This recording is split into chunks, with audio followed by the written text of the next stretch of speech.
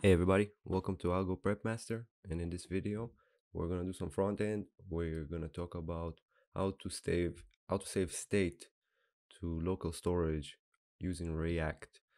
And when I say that, what I mean um, is uh, basically when you change things with your React web app um, and you you try you reload the app, everything is gonna go away. So for example, I have this app that basically manages uh, car inventory. Uh, let's just say for a dealership. So let's just say if I bring a Skyline in here, just say it cost me a hundred thousand dollars because those cars are very expensive. Let's say we just I just got one because you know I'm not very lucky. So we have the Skyline. Now, if we refresh, goes away. So in order for us to keep that data in local storage and basically save the state every time you reload, we have to uh, use use effect uh, in React, and I'll show you how. So we're going to import use effect.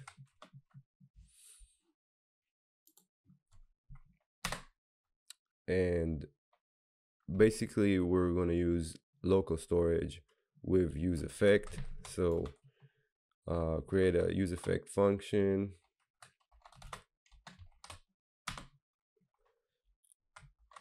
Now we want to have a variable inside um, to store our cars so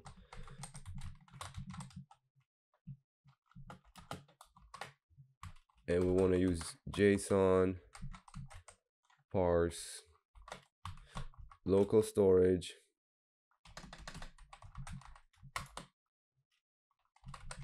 Get item. Here we're going to set the item so we can call it skyline.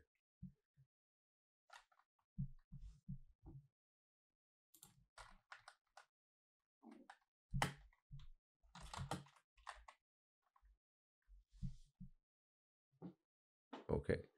So now when we use state we have uh, here we have a, a product and set product. So we're going to use the set product to call this variable.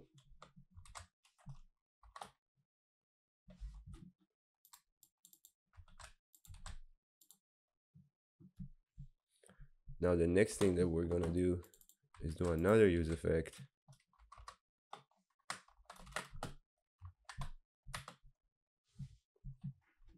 use local storage again. This time set item. And we're going to call the item we just made.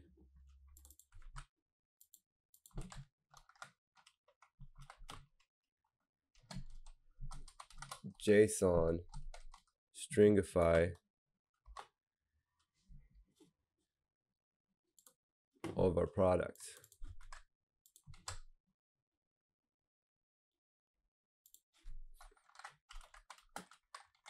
And we're going to put the products inside of an array. Now let's give it a try.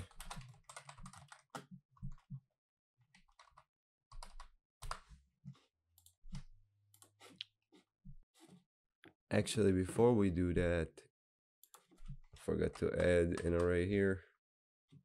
Okay, let's give it another try.